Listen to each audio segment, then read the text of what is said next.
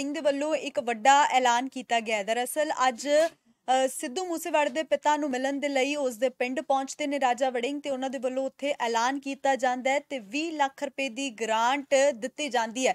ਤੇ ਇਸ 20 ਲੱਖ ਰੁਪਏ ਦੀ ਗ੍ਰਾਂਟ ਦੇ ਨਾਲ ਸਿੱਧੂ ਦੇ ਨਾਮ ਦੀ ਲਾਇਬ੍ਰੇਰੀ ਬਣਾਈ ਜਾਵੇਗੀ। ਤਾਂ ਦੱਸ ਦਈਏ ਕਿ ਸਿੱਧੂ ਦੇ ਪਿੰਡ ਪਹੁੰਚਦੇ ਨੇ, ਉੱਥੇ ਲੋਕਾਂ ਦੇ ਨਾਲ ਗੱਲਬਾਤ ਵੀ ਕਰਦੇ ਨੇ ਤੇ ਉਸੇ ਦੌਰਾਨ ਭਾਵੁਕ ਵੀ ਹੁੰਦੇ ਨੇ ਰਾਜਾ ਵੜਿੰਗ। ਤਾਂ ਦੱਸ ਦਈਏ ਕਿ ਸਿੱਧੂ ਮੂਸੇਵਾਲੇ ਦੇ ਪਿਤਾ ਦੇ ਨਾਲ ਜਦੋਂ ਗੱਲਬਾਤ ਕਰਦੇ ਨੇ ਤੇ ਉਸੇ ਦੌਰਾਨ ਰਾਜਾ ਵੜਿੰਗ ਅਤੇ ਫਤਿਹਗੜ੍ਹ ਸਾਹਿਬ ਤੋਂ ਸੰਸਦ ਮੈਂਬਰ ਅਮਰ ਸਿੰਘ ਦੇ ਵੱਲੋਂ ਇੱਕ ਗ੍ਰਾਂਟ ਪੇਸ਼ ਕੀਤੀ ਜਾਂਦੀ ਹੈ ਜੋ ਕਿ ਲਾਇਬ੍ਰੇਰੀ ਬਣਾਉਣ ਦੇ ਲਈ ਗ੍ਰਾਂਟ ਹੁੰਦੀ ਹੈ। ਤਾਂ ਕੁੱਲ 20 ਲੱਖ ਰੁਪਏ ਦੀ ਇਹ ਗ੍ਰਾਂਟ ਜਿਹੜੀ ਹੈ ਦਿੱਤੀ ਗਈ ਹੈ। ਸਿੱਧੂ ਮੂਸੇਵਾਲੇ ਦੇ ਪਿਤਾ ਅ, ਨੂੰ ਜਿਹੜਾ ਹੈ ਇਸ ਦਾ ਪੱਤਰ ਸੌਂਪਿਆ ਜਾਂਦਾ ਹੈ। ਤਾਂ ਸਿੱਧੂ ਕਾਂਗਰਸ ਦੇ ਵਿੱਚ ਸ਼ਾਮਿਲ ਸੀ। ਕਾਂਗਰਸ ਦੇ ਵੱਲੋਂ ਅ, ਚੋਣਾਂ ਦੇ ਮੈਦਾਨ ਦੇ ਵਿੱਚ ਖੜਾ ਹੁੰਦਾ ਤੇ ਉਸ ਤੋਂ ਬਾਅਦ ਜਦੋਂ ਅੱਜ ਸਿੱਧੂ ਦੇ ਪਿੰਡ ਪਹੁੰਚਦੇ ਨੇ ਤਾਂ ਅੱਖਾਂ ਦੇ ਵਿੱਚ ਹੰਝੂ ਲੈ ਕੇ ਰਾਜਾ ਵੜਿੰਗ ਇਹ ਐਲਾਨ ਵੀ ਕਰਦੇ ਨੇ ਕਿ ਸਿੱਧੂ ਮੂਸੇਵਾਲੇ ਦੇ ਨਾਮ ਦੇ ਉੱਤੇ ਹੁਣ ਇੱਕ ਲਾਇਬ੍ਰੇਰੀ ਬਣਾਈ ਜਾਵੇਗੀ ਸਿੱਧੂ ਦੇ ਪਿੰਡ ਦੇ ਵਿੱਚ ਹੀ। ਤਾਂ ਉਸ ਮੌਕੇ ਦੇ ਉੱਤੇ ਹੋਰ ਕੀ ਕਹਿੰਦੇ ਨੇ ਉਹ ਤੁਹਾਨੂੰ ਸੁਣਾਉਂਦੇ ਆ ਬਸ ਜੀ ਸਾਡਾ ਆਪਦਾ ਪਰਿਵਾਰ ਹੈ ਔਰ ਪੁਰਾਣੀ ਜੋ ਸ਼ੁਭਦੀਪ ਨਾਲ ਸਾਂਝ ਹੈ, ਪਰਿਵਾਰ ਨੂੰ ਦੁਬਾਰੇ ਅੱਜ ਮਿਲਣ ਵਾਸਤੇ ਆਏ ਹਾਂ ਔਰ ਆਪਦੇ ਫਰਜ਼ਾਂ ਦੀ ਪੂਰਤੀ ਕਰਨ ਵਾਸਤੇ ਸਾਡਾ ਭਰਾ ਜਿਸ ਦਿਨ ਅ, ਦੁਨੀਆ ਤੋਂ ਤਾਂ ਚਲਾ ਗਿਆ। ਲੇਕਿਨ ਅੱਜ ਵੀ ਦੁਨੀਆ ਮੈਂ ਸਮਝਦਾ ਕਿ ਅੱਜ ਮੈਂ ਵੇਖਿਆ ਫਿਰ ਜਿੱਥੇ ਅੰਤਿਮ ਸੰਸਕਾਰ ਹੋਇਆ ਸੀ ਕਿਵੇਂ ਲੋਕ ਉੱਥੇ ਆਪਦੀ ਆਪ ਪਹੁੰਚਦੇ ਹੈ ਦਰਸ਼ਨ ਕਰਨ ਵਾਸਤੇ ਮੱਥਾ ਟੇਕਣ ਵਾਸਤੇ ਆਪਦੇ ਉਹ ਸਾਥੀ ਨੂੰ ਯਾਦ ਕਰਨ ਵਾਸਤੇ। ਸੋ ਅਸੀਂ ਸਾਰਿਆਂ ਨੇ ਮਨ ਬਣਾਇਆ। ਮੈਂ ਮੇਰੇ ਮਨ ਦੇ ਵਿੱਚ ਇੱਛਾ ਸੀ ਤੇ ਮੈਂ ਡਾਕਟਰ ਸਾਹਿਬ ਸਰਦਾਰ ਅਮਰ ਸਿੰਘ ਜੀ, ਮੈਂਬਰ ਪਾਰਲੀਮੈਂਟ ਫਤਿਹਗੜ੍ਹ ਸਾਹਿਬ ਨਾਲ ਗੱਲ ਕੀਤੀ ਕਿ ਅਸੀਂ ਇੱਕ ਸ਼ੁਰੂਆਤ ਕਰੀਏ ਕਿ ਸਿੱਧੂ ਦੀ ਯਾਦ ਦੇ ਵਿੱਚ ਇੱਕ ਚੰਗਾ ਮੈਮੋਰੀਅਲ ਜਿਹੜਾ ਬਣਾਇਆ ਜਾਵੇ। ਔਰ ਸਾਨੂੰ ਕਿਸੇ ਨੇ ਆਖਿਆ ਨਹੀਂ ਸੀ, ਕਿਉਂਕਿ ਕਾਂਗਰਸ ਪਾਰਟੀ ਤੋਂ ਚੁਣਾਵ ਲੜਿਆ।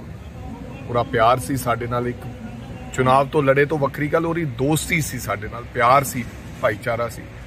ਸੋ ਜਦੋਂ ਮੈਂ ਡਾਕਟਰ ਅਮਰ ਸਿੰਘ ਜੀ ਨੂੰ ਮੈਂਬਰ ਪਾਰਲੀਮੈਂਟ ਸਾਹਿਬ ਨੂੰ ਗੱਲ ਕੀਤੀ ਤਾਂ ਉਹਨਾਂ ਨੇ ਮੈਨੂੰ ਕਿਹਾ, ਯਾਰ ਇਸ ਸ਼ੁਭ ਕੰਮ 'ਚ ਦੇਰੀ ਨਹੀਂ। ਸਭ ਤੋਂ ਪਹਿਲਾਂ ਮੇਰਾ ਯੋਗਦਾਨ ਪਵਾ। ਹਾਲਾਂਕਿ ਉਹ member of parliament Fatehgarh Sahib ਤੋਂ ਹੈ। ਉੱਥੋਂ ਦੇ ਲੋਕਾਂ ਦੇ ਨੁਮਾਇੰਦੇ ਨੇ।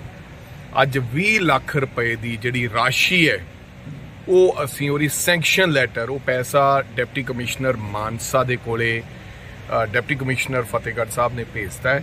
ਤੇ ਡਾਕਟਰ ਸਾਹਿਬ, ਆਪ ਉਹ ਅੱਜ ਸੈਂਕਸ਼ਨ ਲੈਟਰ ਲੈ ਕੇ ਆਏ ਨੇ, ਤਾਂ ਜੋ ਪੰਚਾਇਤ ਨੂੰ ਦੇ ਦਿੱਤਾ ਜਾਵੇਗਾ ਪੰਚਾਇਤ ਉਹਨੂੰ ਸਾਡੇ ਭਰਾ ਦੀ ਯਾਦਗਾਰੀ ਦੇ ਵਿੱਚ, ਬਣਾਉਣ ਦੇ ਵਿੱਚ ਉਹ ਲਾਵੇਗੀ।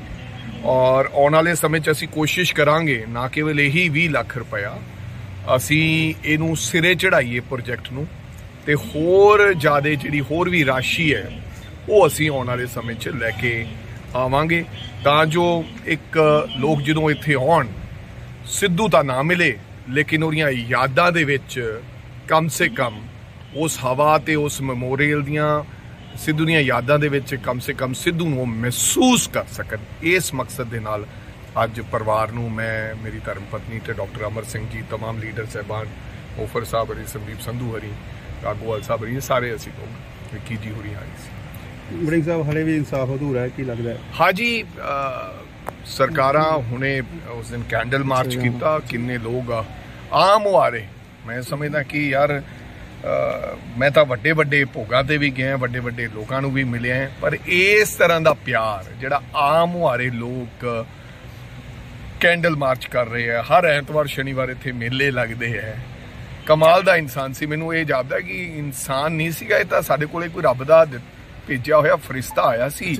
ਉਹ ਆਪਦੀ ਜ਼ਿੰਦਗੀ ਭੋਗ ਕੇ ਜੇ ਚਲਾ ਗਿਆ ਔਰ ਮੈਂ ਤਾਂ ਸਰਕਾਰ ਨੂੰ ਇਹੀ ਬੇਨਤੀ ਕਰਾਂ ਕਿ ਕਿ ਸਾਨੂੰ ਉਹ तमाम ਕੰਮ ਕਰਨੇ ਚਾਹੀਦੇ ਹੈ तमाम ਉਪਰਾਲੇ ਉਹ ਵਰਤਣੇ ਚਾਹੀਦੇ ਜਿਨ੍ਹਾਂ ਨਾਲ ਪਰਿਵਾਰ ਦੇ ਤੇ ਸਿੱਧੂ ਦੇ ਚਾਹਣ ਵਾਲਿਆਂ ਦੇ ਕਲੇਜੇ 'ਚ ਠੰਡ ਪੈ ਸਕੇ ਥੈਂਕ ਯੂ ਦੇਖੋ ਮੈਂ ਸਮਝਦਾ ਕਿ ਸ਼ੁਭਦੀਪ ਸਿੰਘ ਜਿਹਨੂੰ ਸਿੱਧੂ ਮੂਸੇਵਾਲਾ ਕਹਿੰਦੇ ਆ ਆਪਾਂ ਸਾਰੇ ਪਿਆਰ ਨਾਲ ਦੇਖੋ ਜਿਹੜਾ ਉਹਦਾ ਏਡੀ ਛੋਟੀ ਉਮਰ 'ਚ ਪੰਜਾਬ, ਪੰਜਾਬੀ ਭਾਸ਼ਾ ਔਰ ਪੰਜਾਬੀਅਤ ਨੂੰ।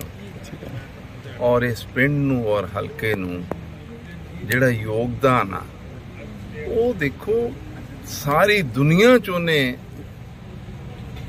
ਮਸ਼ਹੂਰ ਕੀਤਾ। ਆਪਣੀ ਉਹਦੀ ਕੁਰਬਾਨੀ ਹੋਈ। ਉਨਾ ਹੀ ਨਹੀਂ ਉਹਨੇ ਸਾਡੇ ਸਿੱਖ ਜਿਹੜਾ ਸਾਡਾ ਧਰਮ ਆ ਉਹਨੇ ਦਸਤਾਰ ਨੂੰ ਵੀ ਮਸ਼ਹੂਰ ਕੀਤਾ। ਮੈਂ ਸਮਝਦਾ ਕਿ ਉਹਦੀ ਯਾਦ ਇਸ ਤਰ੍ਹਾਂ ਦੀ ਬਣਨੀ ਚਾਹੀਦੀ ਆ ਕਿ ਜਿਸ ਤਰ੍ਹਾਂ ਦਾ ਉਹਨੂੰ ਨਾਮ ਮਿਲਿਆ ਸਾਰੀ ਦੁਨੀਆ 'ਚ, ਯਾਦ ਵੀ ਉਸੇ ਲੈਵਲ ਦੀ ਹੋਵੇ। ਮੈਂ ਅੱਜ ਸ਼ੁਰੂਆਤ ਕੀਤੀ ਆ, ਇਹ ਅੰਤ ਨਹੀਂ ਹੈਗਾ 20 ਲੱਖ ਰੁਪਇਆ ਕੁਝ ਵੀ ਨਹੀਂ ਹੁੰਦਾ ਹੈਗਾ।